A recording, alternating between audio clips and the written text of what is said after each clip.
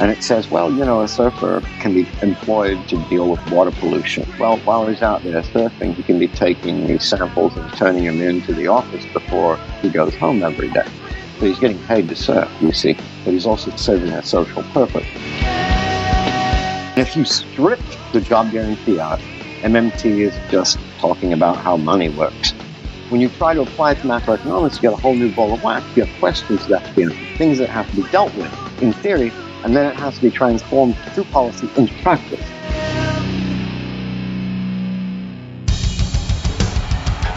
What I have said is that this campaign is not just about electing a president, it is about making a political revolution.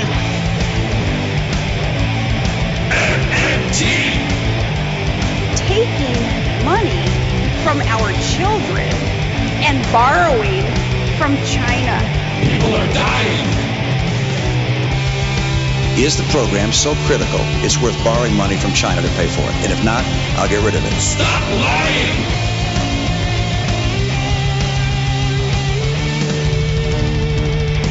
I want the truth.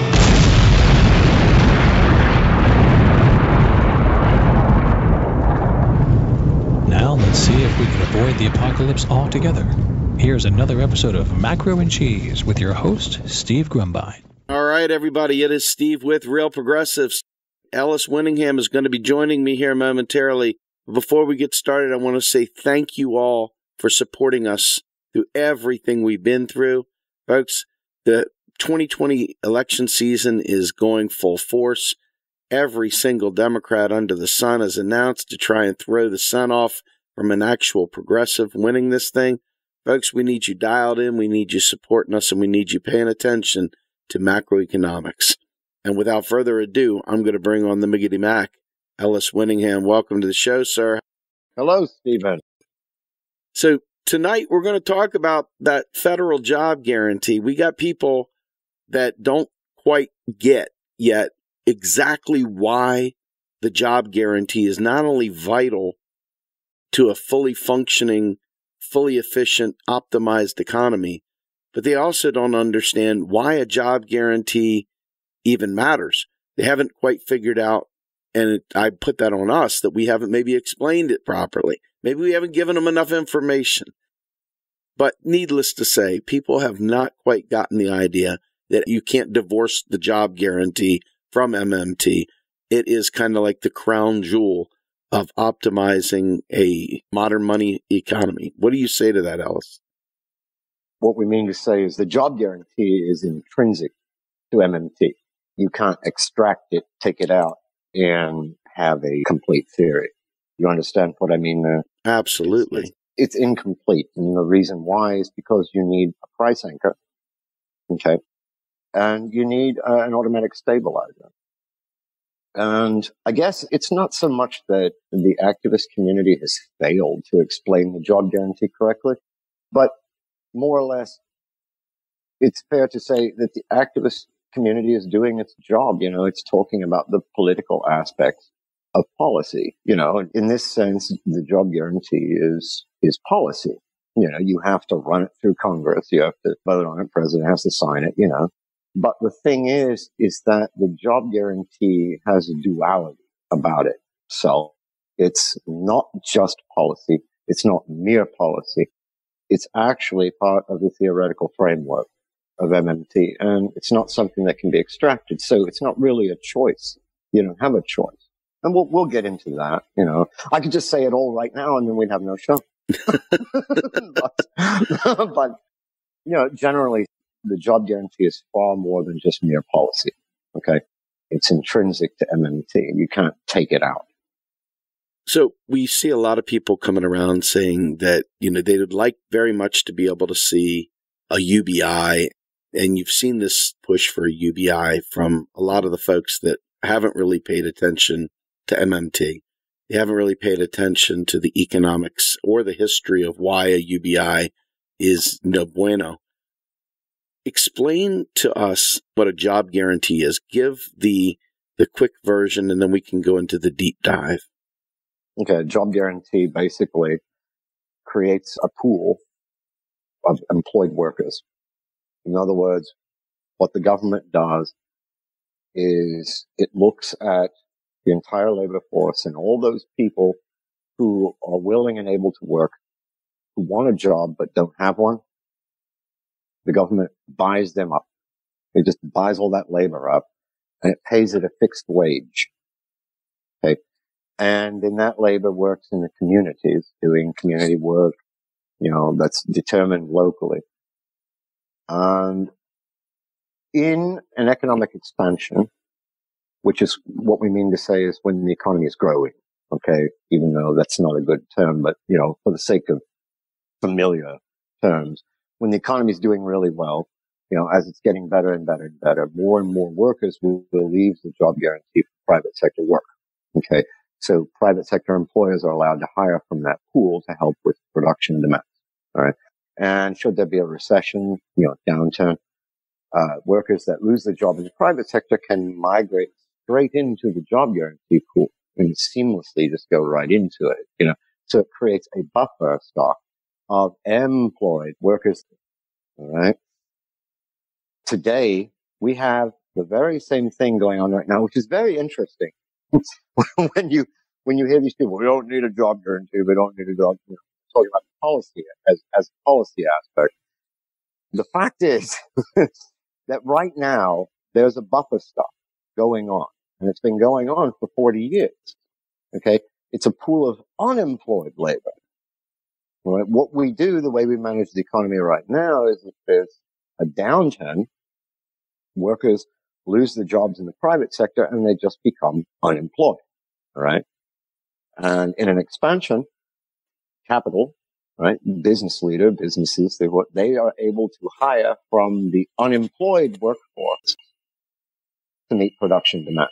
You see, it's the same thing, except in this case, the job guarantee proposes to actually employ these workers, put them to work, put them to good use, right? And pay them away. okay. That's really the difference there. But for in macroeconomic terms, the job guarantee beats the current system hands down.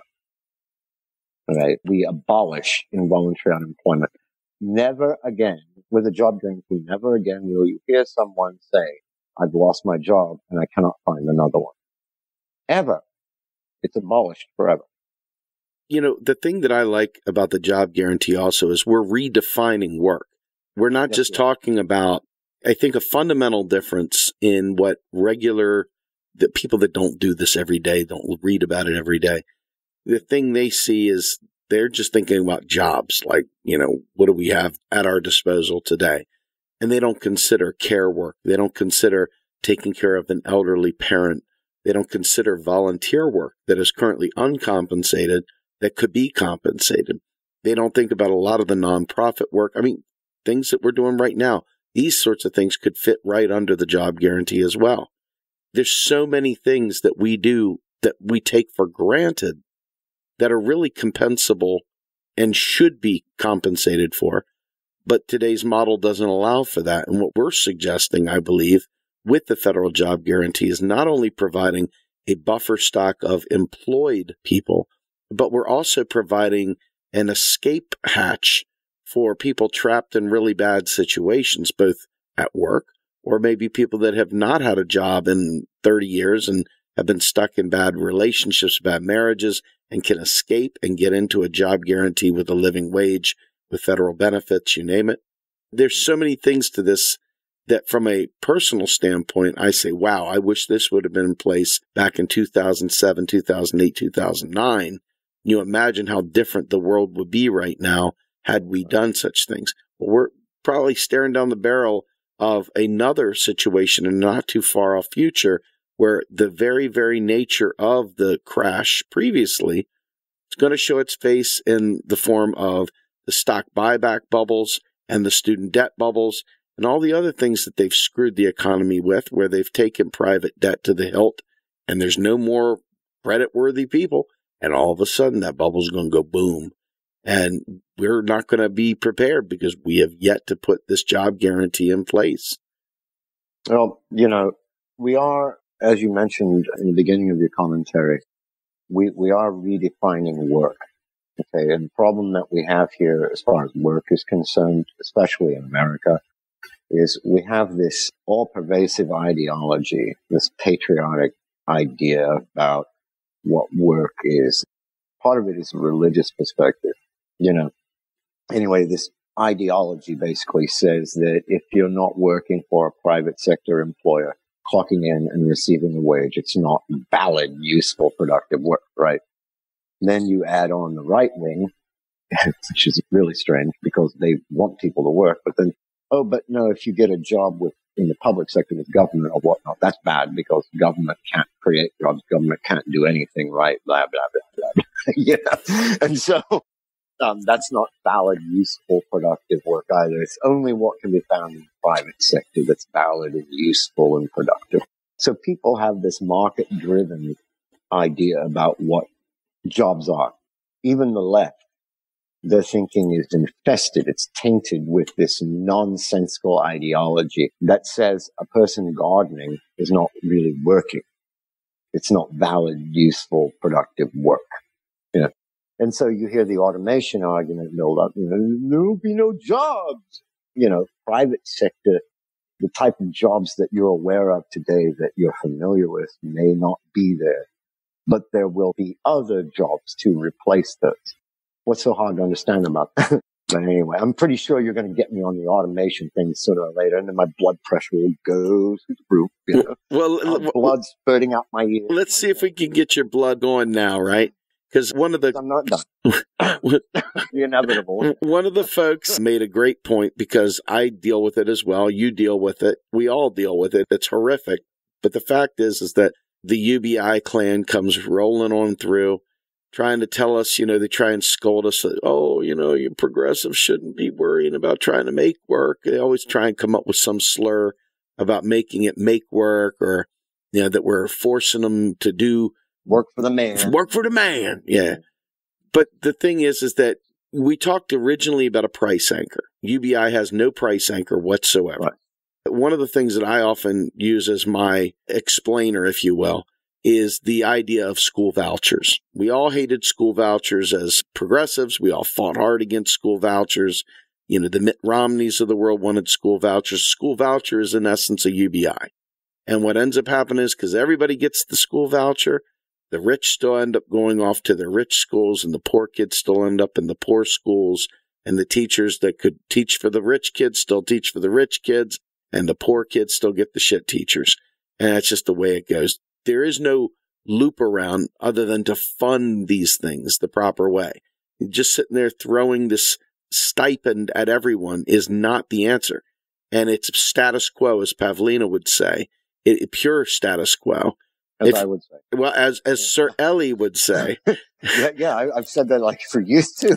it's status quo on top of status quo. You know, it's a never-ending status quo train. there's nothing there to it.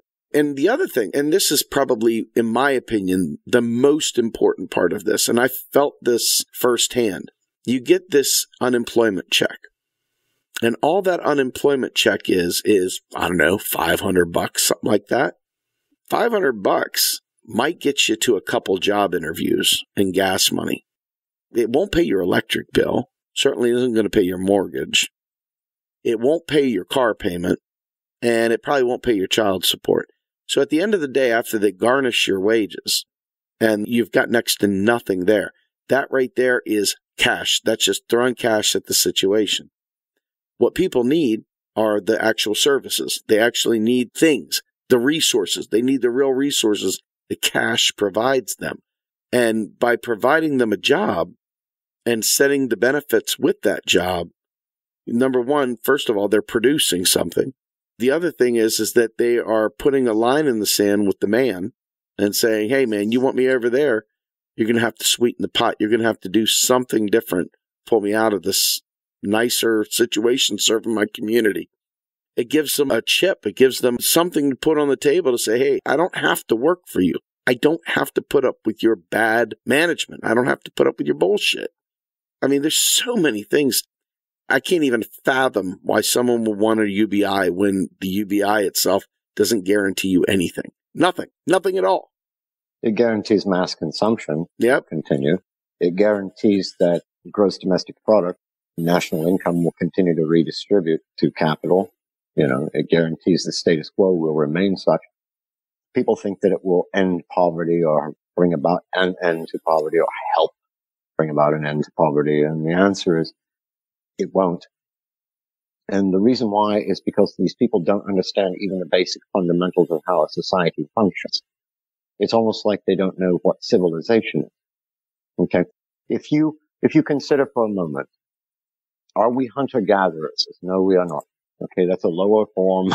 I mean, that's like before civilization. Okay. You just got little tribes of individual groups going around hunting and gathering. They're hunting and they're gathering. Yay. You know, and what are they doing? They spend all of their labor energy from sun up to sundown trying to find food, trying to clothe themselves, right?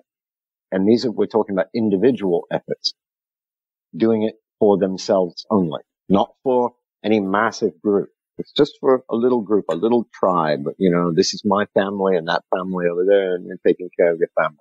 Okay. So you're going out and spending all of your labor power every day working to find the food and whatever and feed yourself and your kids, right?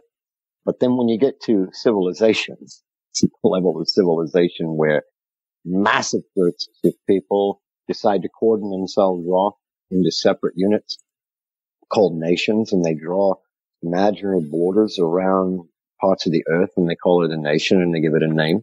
Okay. When they do that, okay, you have two choices. You can either be hunter gatherers, which means you don't really have a society to speak of, or you can have a society, you know. But if you're going to do that, you're going to enclose people in borders and create laws and have a, a central government and all this stuff. And there's all these laws. And especially if you're going to have a capitalist framework, you're going to have private property rights and all that. So, you know, you can't have little clans wandering through your backyard shooting rabbits. right? It's not going to work what has to happen is society has to devise a way to produce enough to feed and clothe and take care of the basic survival needs of the entire social structure. Okay. So it's called mass production. The whole point is in a society, you go from going out and finding the food yourself and killing it and skinning the animals and making your own clothes you go from doing that to expending your labor power serving society. You are employed by a business you help produce, and then those goods are sold to society, to everybody else, and everybody provisions themselves in that manner through mass production. So what I'm trying to tell you is, is any modern monetary economy operates based on production. Okay. And to produce, you need human labor. It will always be required we're not advanced enough yet where automation can take over. And even if it did, that would only mean that you have a market view of what jobs are and what useful, valid, productive jobs are. And if that's the case, you're flat wrong. Your thinking is very cloudy. Okay. And so naturally you're going to assume that C3PO and R2D2 will take over any day now and there'll be nothing for humans to do. That's crazy. They've said this for centuries. People have said this for centuries. And for centuries, labor has been redistributed, been redeployed to some other useful endeavor. And it will a thousand years from now. All right. You need humans. Humans have to produce. They have to be involved in the production process. Okay. That's how an economy works. But since we're talking about 2019 right now, we need humans producing. And right now what you see is a as far as the U.S. is concerned, it's just an import economy. A little is produced. Okay, we're importing everything. It's a vast marketplace of imports. And there's a lot of speculation on Wall Street, a speculation economy going on. There's no real production economy going on. The pistons just aren't pumping. Okay. But when they do, okay, automation will take care of some of it, but not all of it. All right. And it doesn't matter even if it did because the market doesn't get to define what a valid, useful job is. That's insane. The reason why it's insane is because the idea of a private sector being an actual real thing is nonsense. There is no such thing as private sector in real terms. There's no such thing as a government sector in real terms either. There's just one nation. If you disagree with that, then you have to show me how Walmart is not part of society, how CEOs are not part of U.S. society and valid U.S. citizens, and how is it that the average worker is somehow not a U.S. citizen? It's insane. Okay, we're all one people and we do various different activities. We're all engaged in various different activities. We simply apply the term sector, okay, to various areas so that we can separate things out so that we can do analysis and accounting. It doesn't mean it's real. That's a major problem too, is that people think the private sector knows best. if only it existed, that would be something, wouldn't it? you know, it's just no private anything. okay, it just isn't. There's society. That's it. There's the US. There's the UK. There's Australia. Okay. That's all there is. So, Ellis, can you talk about what it will look like on a local level? It's been mentioned that care work, what if you don't want to participate in the jobs being offered? What if the federal job guarantee designs a job you like if you're an artist or a local news journalist with your own YouTube show? I don't want to be told how to do my job or I'm not being considered, I'm not being productive enough. How will the administration be handled? And I know it's kind of a TBD moment there because we haven't really, you know, we don't have the law there. So it's subject to whoever gets it. But from an MMT perspective, let's just answer that as if okay. Well, first of all, it's a micro question. It's inapplicable on the macro level. All right. So let's be clear about that. It's not something we should be talking about at this time. Yep. But to answer the question, to answer it, the job guarantee basically offers a job to anyone who's willing and able to work, who wants a job. Okay. You can set your own hours. You can set your own schedule. All right. So now if someone comes into the local job guarantee office and signs up, all right, they're going to ask you basically a bunch of questions about yourself. What are your talents? What are your likes? What are your dislikes? What do you like to do? Blah, blah, blah, so forth and so on. And ideally, a job will be tailored around that person, their strengths. Okay. Now, logically, depending on which strategy is used, are we going to use the social enterprise model that Tcherneva proposed where we have nonprofits that do the job creation and the administration, or are we going to have local governments? okay, and make it a democratic thing. Who knows? We don't know because we haven't implemented what you know, there's there's no way to really answer that question. It's all hypothetical. Right? Sure. But one way to answer the question, yes, it's completely 100% possible to have a job guarantee set up to where, like I said, like I've used many times before. In Los Angeles, for instance, the city of Los Angeles might operate the job guarantee. It might administer the job guarantee for Los Angeles. Okay uh, the local government, let's say. And it says, well, you know, a surfer can be employed to deal with water pollution, or as Bill Mitchell would say, to do a water safety class, you know. Well, while he's out there surfing, he can be taking these samples and turning them into the office before he goes home every day. So he's getting paid to surf, you see, but he's also serving a social purpose. He or she is. You know, they're collecting the water sample for pollution content. Okay maybe that's a big deal for Los Angeles. But would this be a job that would be offered in, say, Dubuque, Iowa? No, because there's no ocean there. okay. so logically, if you're a surfer and you were born in Southern California, you know, and you move to Iowa and you're an adult now and you can surf really well and you miss it, you know, you could always say, well, you know, there is a job guarantee office in LA. Maybe it's time to move back home. So, you know, and, and then, and terms of, I don't want to be told that I'm not doing my job. Okay. Well, you know, the answer to that question is you're going to be expected to produce. You're going to be expected to do something. But if you're failing at the job, if it's not something that you're doing well with, you don't have to, it's not like private sector work. You don't have to fear the boss man. You don't have to say, oh, well, I just don't think I fit in with this particular job. You go to the person and you say, I just don't think I'm cut out for this job in the administration office, they'll find you another job. It's really that simple. Well, that answered two other questions that came up. Okay. They're easily anticipated because of, you know, I mean, you know, I do this, this is, I teach this stuff. So, I mean, I know they're coming sooner or later. You know, but, well, he, here's the next question, and this is very important one. I think this is one that you would like to take on head on.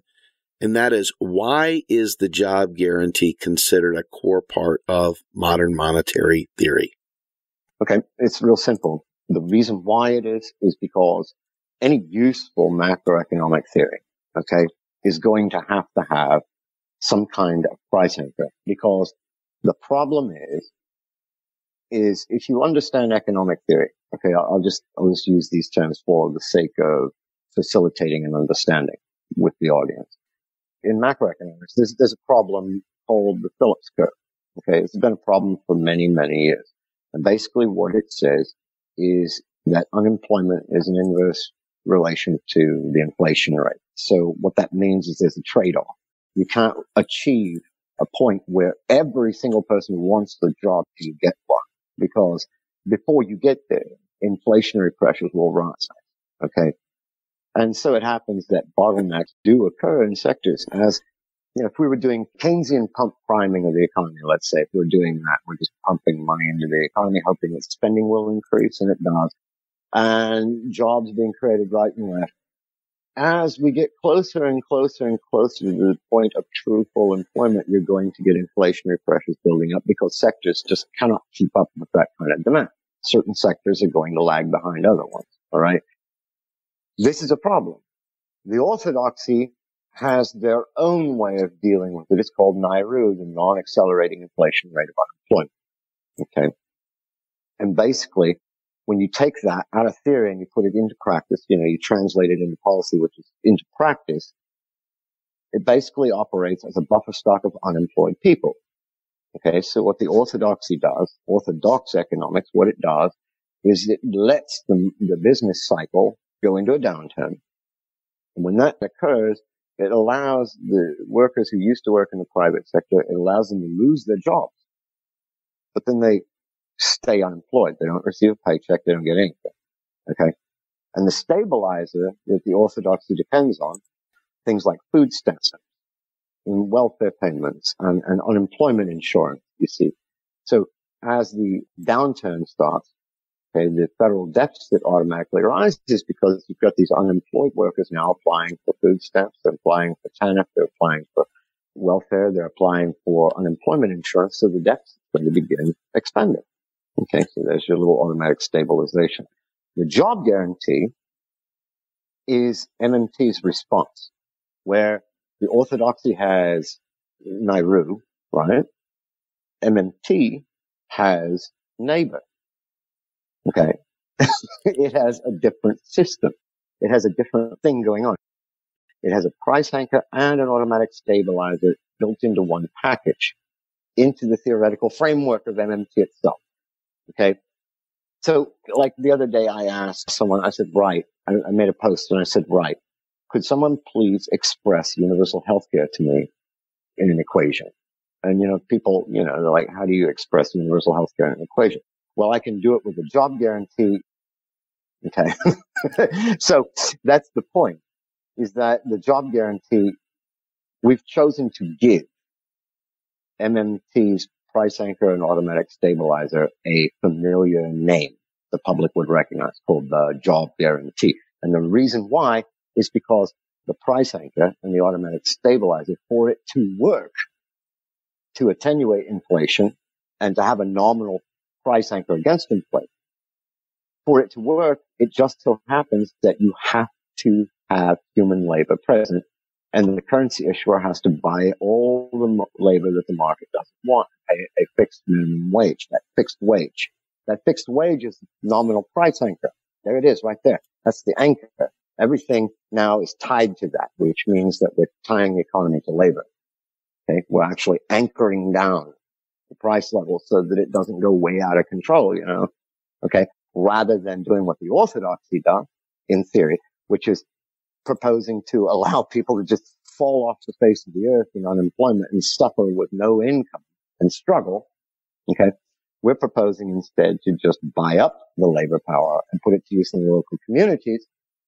But what's actually going on is the job guarantee is a price anchor. It's part of the framework of MMT. It's a necessary price anchor and automatic stabilizer that you cannot remove because if you do, you don't have an answer to the Phillips curve. You don't have an answer to this stuff. Okay. So you have an incomplete theory. All right. You got to complete it. And just so happens MMT completes it with this thing we call the job guarantee. Okay. What it does is it literally eliminates the Phillips curve entirely. It takes it completely out of play. It replaces the Phillips curve with something sensible, sensible price anchor that doesn't harm anybody and has a more positive impact on production and output. You can't take that out of MMT. All right. Let me just put it this way. You can operate. Can you operate an economy without a job guarantee? Yes, you can. Will it function correctly? No. No. Okay. So the reason why is because production. We need human labor to produce. Economies, they operate based on production. Inflation is a Hmm, real issue. Okay. So what we have to do is we have to anchor the price level. It has to be done. It has to be part of the theory. It's, it's no different than Einstein working on the general theory of relativity and looking at energy and saying, okay, here's energy, here's mass, space time. Oh, the hell with it. We don't have to deal with space time. I have a complete theory. And just pulling space time out of it wouldn't make any sense. It'd be an incomplete theory, you see. It's like taking the job guarantee out of MMT is the same thing as Einstein stopping three quarters of the way through his field equation and saying, that's good enough. you can't do that. Okay. And so people don't realize that the job guarantee is actually not a mere policy. It's part of the framework of MMT. It's part of the macroeconomic aspect. Like Steven Hail uses this really good phrase and it's called MMT informed macroeconomics. I love that. I'm using it now myself because I just adore the phrase. It's so true.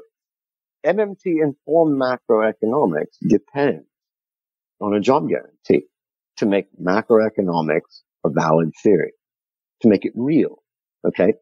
And if you strip the job guarantee out, MMT is just basically talking about how money works.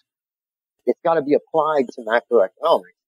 When you try to apply it to macroeconomics, you get a whole new ball of wax. You have questions you things that have to be dealt with in theory, and then it has to be transformed through policy in practice. You see?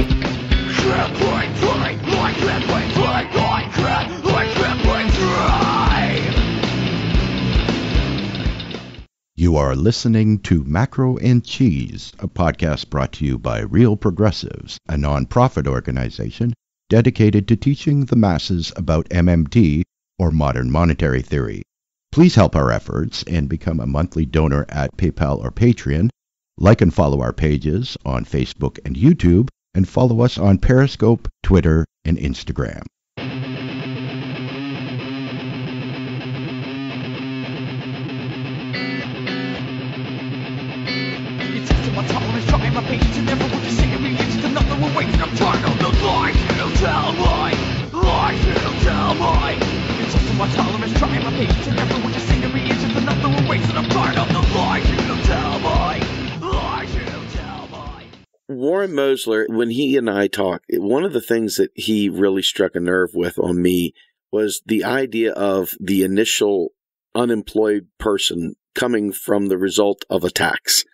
The tax mm-hmm. creating unemployment. There was no unemployment right. before the tax. Suddenly there is unemployment because of the tax. There's no unemployment denominated in that particular unit of account. For instance, when America switched over from when it won the revolution and switched over from the pound sterling to its own currency, you know, the US dollar or whatnot, the moment the government imposed taxation, suddenly you had people unemployed seeking the US dollar, you see, not the pound sterling. So now you have unemployment, you see, and that's the whole function of tax right at the very get-go. It's to unemploy people. The reason why the government wants to unemploy people is because it wants to provision itself with labor or provision society with labor in order to produce goods and services that it can then buy and provision itself with. It wants people to go out and actually do something to earn the money. You see? Production. Sorry, I didn't mean to interrupt. No, no, not at all. It, it's a very important point, and had I just let you go, I would have ended up forgetting. You know? but the idea, I want people to see it at a base level for themselves, right? They wonder why we tax. They wonder why, you know, the job guarantee is very core to MMT. And they wonder why this ball of stuff equals MMT. And Warren will take you back every single time to the initial imposition of the tax. And that this completes the circle of life, if you will, by you forced the tax, you created the problem by issuing the tax, you solved the problem by implementing the job guarantee. You've, you've imposed a burden and then the burden needs to be lifted. Otherwise, the person will suffer. That's right. And That's the point. You want to avoid the suffering. You need to pay the tax. How are you going to do that? Well, you're going to have to go out and work or find a way to earn that money, meaning you have to sell something to the government. It's either going to be a labor power or it's going to be goods, services that you produce. But you're going to have to do something. Otherwise, that burden will not be lifted. That's what drives the demand for the US dollar, for the Australian dollar, for the pound sterling, for the Canadian dollar, for the Japanese yen. So this is an important point. How can the job guarantee possibly be necessary for MMT when you tell us that MMT is already here? It's a description of how it works, right? Yeah, and a job guarantee describes how production works, how price anchor works in a production based economy, but functions properly. That's the, supposed to function. that's it's in there in which lies the rub. People don't realize that all this pain and suffering you're feeling today, all this pain and suffering that the average American feels today is because we have an economy that is not Without- functioning without properly. Valid, you, you don't, you have an economy that doesn't have a valid price anchor. There you go. and it's and it's using an inappropriate buffer stock to attenuate potential inflation to stave off potential inflation. Unemployed people. yeah, exactly. you know, so if you want to look at it from the, the moral perspective, you've got people suffering and dying. They're drafted to fight in the war against inflation that doesn't exist, you know, to prevent it. Um, if you want to look at it from a macroeconomics perspective, you've taken human labor and you've set some in reserve that's not being used. It's unemployed and therefore it has a market value of zero. And since it has a market value of zero, nobody's paying it. So that's how the orthodoxy staves off inflation. All right. Well, the job guarantee, since you asked, how can it be intrinsic if it's just a description? Okay. Well, let me describe for you the job guarantee in mathematical terms. And we'll use Bill Mitchell to do this. BER equals JGE divided by E. That is the job guarantee expressed as a description. Do that with universal health care. Do that with tuition free university. I dare you. You can't. Okay. That's because the job guarantee is not just policy. It's not just a mere policy. It's an integral part of theory. you, can't just pull it out. You, you, you can't, you can't do it. All right. So that's the description. Well, if it's descriptive, then the job guarantee is not necessary, but I can describe the job guarantee. BER equals JGE divided by E. What does that mean then? Well, what it means is the buffer employment ratio. Okay. When government uses fiscal policy to adjust the buffer employment ratio up and down, guess what happens? JGE, that's the job guarantee employment pool divided by, okay, total employment in the economy, the ratio goes up and down. So when the government adjusts using fiscal policy, the BER, the buffer employment ratio, as it goes up and down, so workers transition back and forth between total employment and job guarantee employment. It's up and down. See that? It's an actual function. It's not policy. It's not policy. Okay? See? So if you take that away, MMT doesn't have a buffer stock. At least the orthodoxy does. but MMT wouldn't have any response to the Phillips curve. So, well, then you would have people like Thomas Palley instead of arguing blah, blah, blah, rah, rah, rah, rah, the way he does, you know, blah, blah, blah. You know, instead of doing that, he would just be pointing out endlessly every day, MMT does not have a satisfactory response to the Phillips curve. You just keep going on and on and on. You know, you're just opening the door up for these people to, to just, you know, discredit something that's actually a description of reality. It needs to be applied to macroeconomics to create macroeconomic reality, which is what MMT is. Without the job guarantee, you've got problems. When I talked to Bill Mitchell, laid it out. He said, "You know, we named the book Macroeconomics. We didn't name it MMT." He goes, right. "Because this is macroeconomics. It just is." And so the idea here, when he named it macroeconomics, and I talked to Randy Wray offline as well, and he said the same thing. Ultimately, what they were gunning for was just that, hey, don't think of our economy as MMT. Don't think of it as anything else other than the economy, the macro economy. And if you think about that, what is missing? When the crash hit in 2009, taking it to a micro level to some degree, people suffered massively. People were out of jobs. We're losing jobs by the millions each month. Take that. You take that on the macro perspective, mass unemployment. But I'm talking about for the people, individuals that are wondering how come this isn't working each for me. individual, yeah. For each individual that's wondering why it's not working, exactly.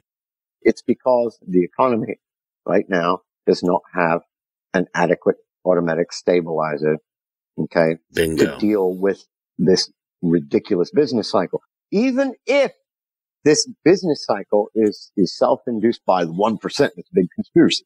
Okay. Even literally, even if they're deliberately creating recessions, okay, to reconfigure the economy, to keep suppressing wages and reconfigure it to underemployment and keep pushing GDP to themselves. All right. Even if that's deliberate, which it is for the most part, even if that is deliberate, you still have to have some sort of automatic stabilization. You have to have a place for these workers to go. Okay. And there's nowhere for them to go except the unemployment line. And that's the reason, major reason why the economy is not functioning properly. Also, because clearly we're not allowing the currency issuer to issue currency. I mean, we are, but we're not allowing the currency issuer to spend enough for anything. We're constantly attacking its deficit and its budget. You know, like that really matters. Okay. The deficit does matter. Okay. But in a different way than people are told. Okay. So we've got a lot of things going wrong, but the problem from a, from a, an economics perspective, when you look at the macroeconomy, when you look at the economy and say, what is the problem here? The major problem here is there is no price anchor. There is no automatic stabilizer that's worth its salt. If you want to continue to depend exclusively on food stamps, okay, and welfare and unemployment insurance as the default automatic stabilizer, all alone by themselves, you're going to keep seeing the same crap you're seeing right now. And you're going to keep asking the same question every time a recession hits. What the fuck is wrong with this economy? We're doing it wrong. We can keep food stamps. We can keep all of these programs, social security. We can keep all of these things in place and strengthen them. But the thing is, you need the superior automatic stabilizer, as Bill Mitchell says, the superior one. And that is the job guarantee. Okay. So I want to hit something really hard, but we got somebody pulling the Richard Wolff. I'd rather be in co-ops. And this is not precluding co-ops, number one. But number two, this is about the base. This is about the minimum wage. This is the new floor. This is the new wage floor. This is the new employer of last resort. As Warren Mosler would say, this is a transition job from Yes. unemployed to employed. But instead of being unemployed, you're working in your local community. If you want to go work in a co-op, none of this is preventing you from doing that. For God's No, sake, no. it is so offensive when I see people come in that don't take the time to learn this. They've got things to say, of course. They don't have time to listen. But they got a lot to say. And, you know, as somebody who trends socialist, if you will, of course, co-ops are great things. But do you want the co-op to be the floor, the wage floor? Do you want to be at the very bottom? How would you create a wage price floor with a co-op? It wouldn't work. But the, the, this is the currency issue. it's the feels game. This is about the feels. This is the, Okay, the, yeah, the I- I feels. that, but I, what I'm, I'm, I'm asking, I'm asking a general question for people to ponder and, and think about. How can you have a co-op create a wage price floor when it's not even the currency issuer? If the co-op, if co-ops around the nation say, we're not paying any less than $18 an hour, that does not tell business everywhere else that it can't pay 17. It's not going to stop people paying 16 or 15. well, well, well, they'll come work at the co-op and won't work for private sector. Yeah, no, that's not how it works. Okay. The currency issuer uh, sets the price. All right. The currency issuer is the monopolist and therefore sets the price level. It sets the base initial price level, which all market variations then are related to. Okay. And the fact is, when you have unemployment, and you look at those workers who are unemployed. They are not being paid. The market does not want them. Otherwise, they would be employed. Okay. That means their market value currently is zero. Okay. So what we do is the currency issuer, who happens to be the national government, okay, it goes in and it buys up all this labor that the market doesn't want. That is a market value of zero and it changes its value from zero to 15 or 18 or $20 an hour. All right. When it does that, no business in existence inside that nation will be able to pay less than that wage. In other words, if we set the job guarantee wage, if government, the price setter, set the base wage for all labor to be $18 an hour, there is no way that Walmart can pay $11.50. Why? Because no one in their right mind working in the job guarantee who can set their own hours, they can work from one hour to 40 plus hours. They got a nice job tailored to themselves in the community. They're doing something that they enjoy. They're getting great benefits and stuff. Why the hell would you want to dump an $18 an hour job to go work 11.50 an hour for Walmart? You wouldn't. No. Walmart's going to have to up its game. In other words, it has to pay a premium. If Walmart needs help with production, it goes to that job guarantee pool. It's going to have to offer higher than 18 and still people may not come out. You want me to go do what at Walmart? And it's not even guaranteed full time hours. And it's what, 19 an hour? Uh, what are the benefits like? Cause here, man, I've got this and I've got that. The job guarantee pays me all that. What are you willing to offer me? No, you're going to have to do it right. Okay. And what happens is, is that base wage set by the price setter, the national government. Okay. It sets that wage price floor. Wages can't go past it, but it actually helps to push up for the bottom income distribution. It helps to push up private sector wages at that bottom just a little bit. You see that? It pushes them up just a little bit. It makes the nation a better place. You see that? It helps with wage problems. Now the question, and I've brought this up on the show many times before whenever we talked about the job guarantee. What happens with those abuses employers? Walmart just keeps abusing its employees. What, what are you going to do? What do you mean? What are you going to do? Abby is being abused at Walmart as we speak, let us say. All she has to do is give the store manager the finger or her immediate supervisor, who's a narcissistic prat, the double finger right there. Okay, if we're in England, it's Asda, double B, right? grab her, grab her coat, walk straight the fuck out of Walmart, get in her car, drive down the road to the job guarantee office. She will have a job that day.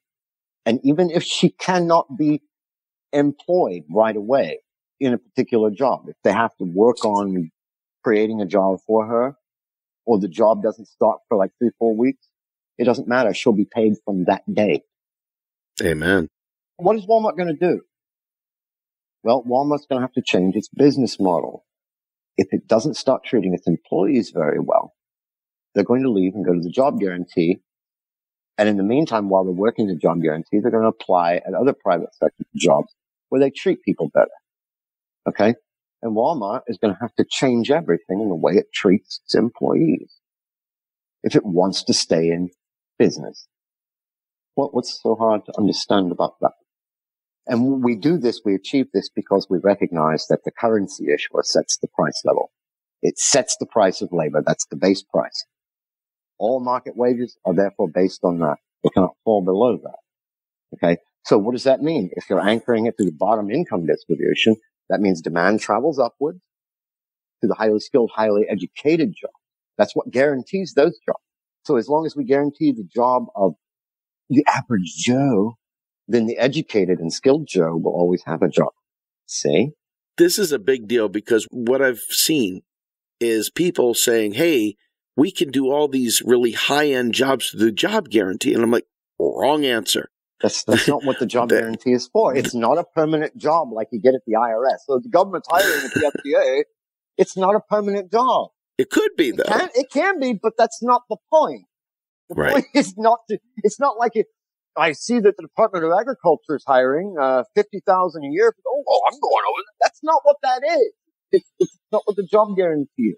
The job guarantee is a pool. It's a holding tank for transitioning workers That's right. between the private sector and the job guarantee pool. That's all it is. Someone could guess they could make their life the job guarantee, and good on them. But the vast majority won't.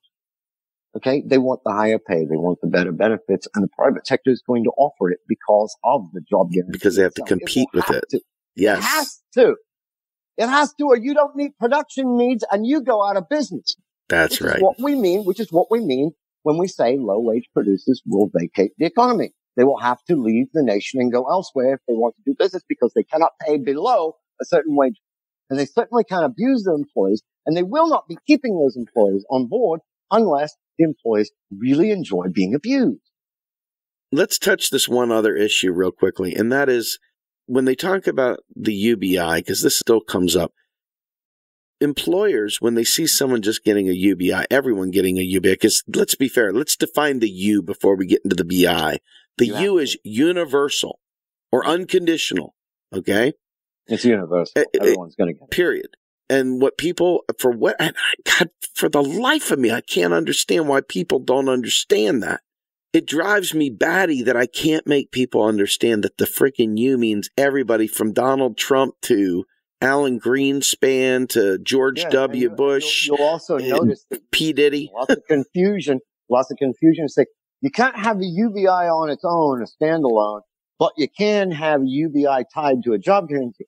No, you can't. No, It's- exactly. You can't because it's universal. How much spending do you, I mean, how big do you want, how much money do you want the federal government to create and spend on an annual basis? I mean, the job guarantee alone, which is the price anchor and the automatic stabilizer that the economy has to have or it won't function right, that's what, 690 billion a year? Maybe 700 a billion? Right there.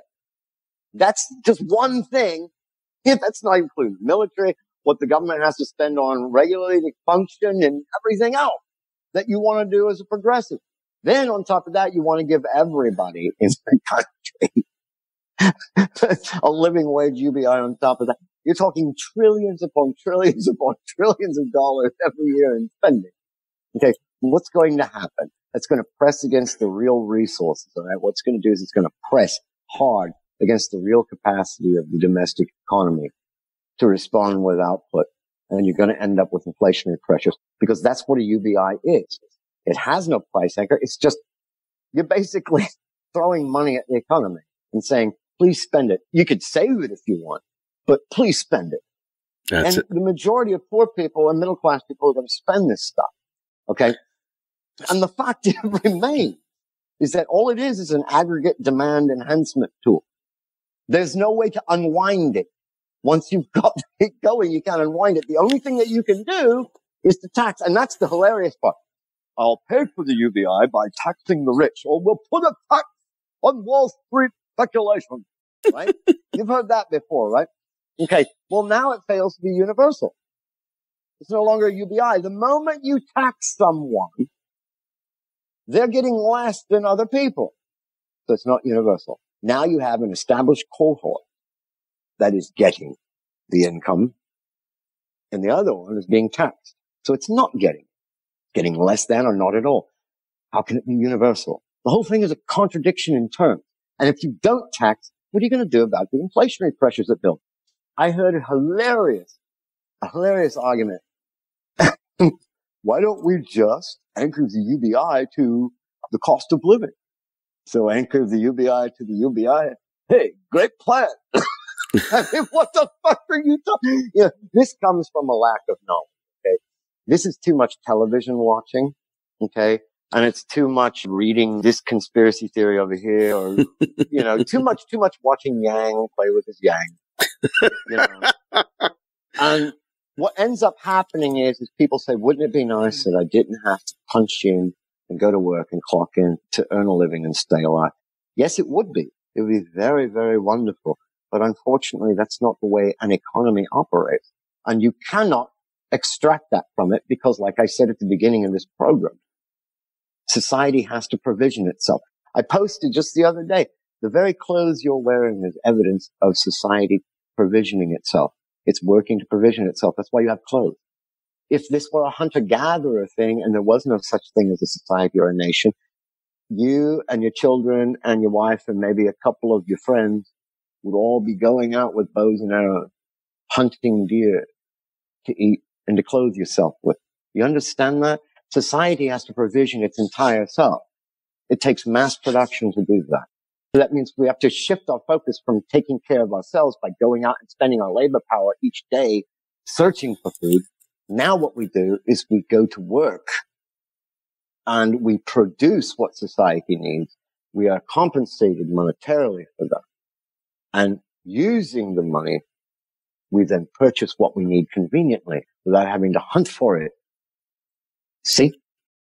It just so happens that these people don't seem to understand that society established the national government. Yeah. Okay. They And it that point. represents society and society gave it authority to issue money. So society issues its own money. Okay. Well, then we have a monetary economy. Okay. And so we produce and then we compensate the workers with money and then they go to the store and buy the groceries rather than going out. Oh, thank, hope find deer today. You don't have to do that. Walk 8,000 miles hoping you're going to find corn. right? You just go to the store. You know, so there you have it. If you want civilization, that's what you've got to do. You've got to produce it. Well, we'll have the robot do it. Oh, as soon as C3PO and R2D2 show up and they can do it all, the, the I robot comes along. Hey, then we'll start talking about a UBI and whatnot. If it is true that finally robots have eliminated the need for human labor. But you know what? I'm betting it ain't going to happen. Captain Kirk. So one more thing on the UBI, and that is for the folks that are championing this, and they're unfortunately they are legion because that's what happens when desperate people go amongst other desperate people that are uninformed. Tell the folks what the wage people do. These freaking companies are going to subsidize shit wages. Oh, By- you wanting to talk about what? what Absolutely. This is where we get into the status quo argument that I talked about a couple of years ago. Why it's status quo on top of status quo.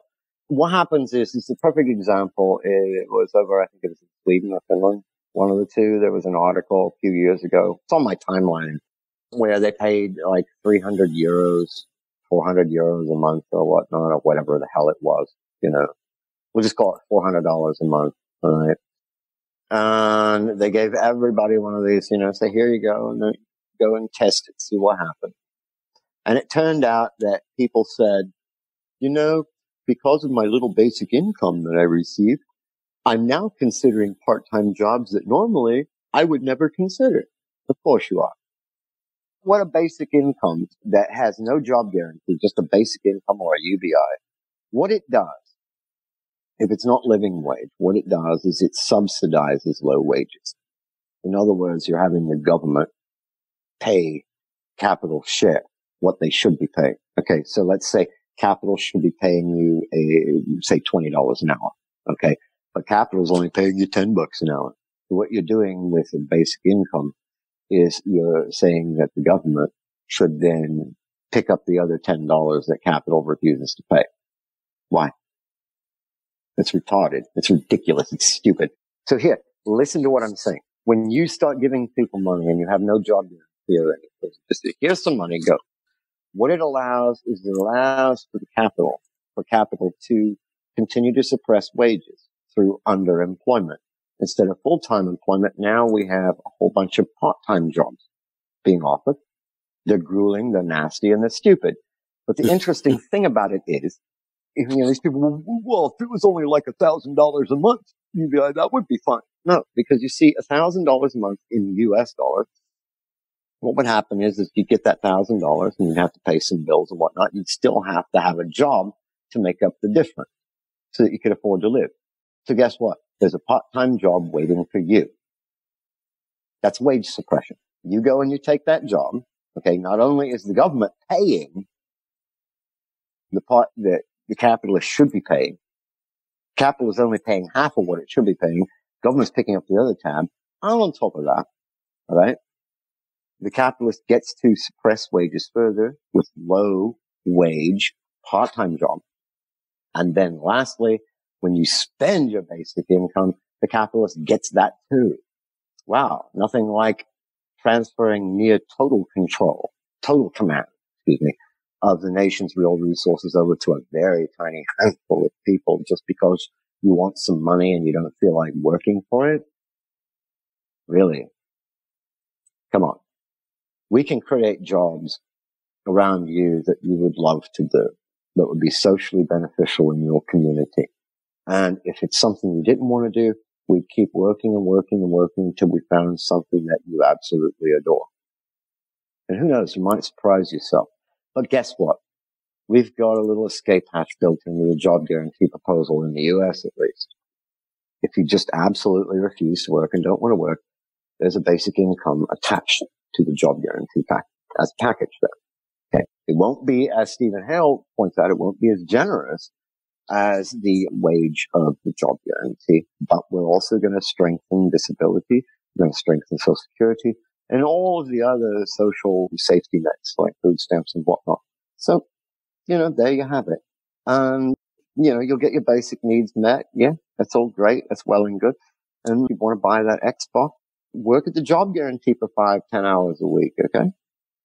All right, Ellis. With that, I want to say thank you very much for joining us. It's been a while. I miss having you on.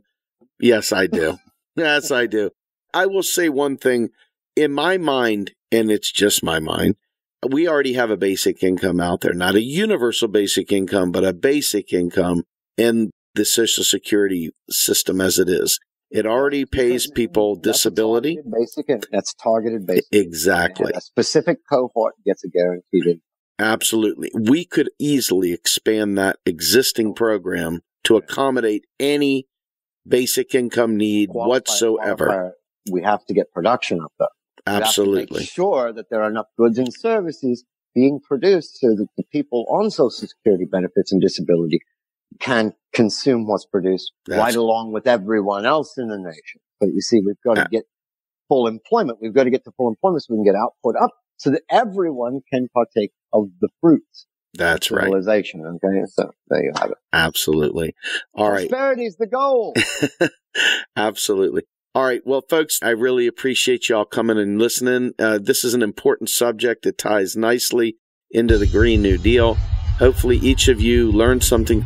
Ellis, thank you so much for being such a great teacher, and I uh, really appreciate your time. And with that, thank you all. We're out.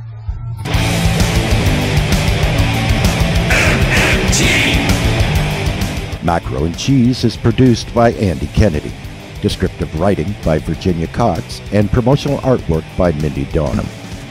Macro N Cheese is publicly funded by our Real Progressive Patreon account. If you would like to donate to Macro N Cheese, please visit patreon.com slash realprogressives. I want the truth!